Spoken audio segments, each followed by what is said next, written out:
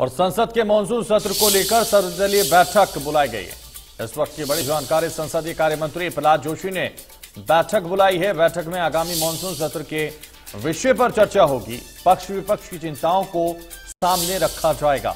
इस वक्त की बड़ी जानकारी, बड़ी खबर आपको बता रहे पक्ष पक्ष विपक्ष की चिंताओं को सामने रखा जाएगा। ये बड़ी जानकारी इस वक्त breaking news India news Haryana पर हम आपको बता रहे हैं। संसद के मानसून सत्र को लेकर सर्वदलीय बैठक बुलाई गई। संसदीय कार्य मंत्री प्रहलाद जोशी ने बैठक बुलाई है तो बैठक में आगामी मानसून सत्र के विषय पर चर्चा होगी। पक्ष विपक्ष की चिंताओं को सामने रखा जाएगा। संसद के मानसून सत्र को लेकर सर्वदलीय बैठक बुलाई गई है। इस वक्त की बड़ी जानकारी, बड़ी खबर आपको बता रहे हैं। संसद के मानसून सत्र को लेकर सर्वदलीय बैठक बुलाई गई है।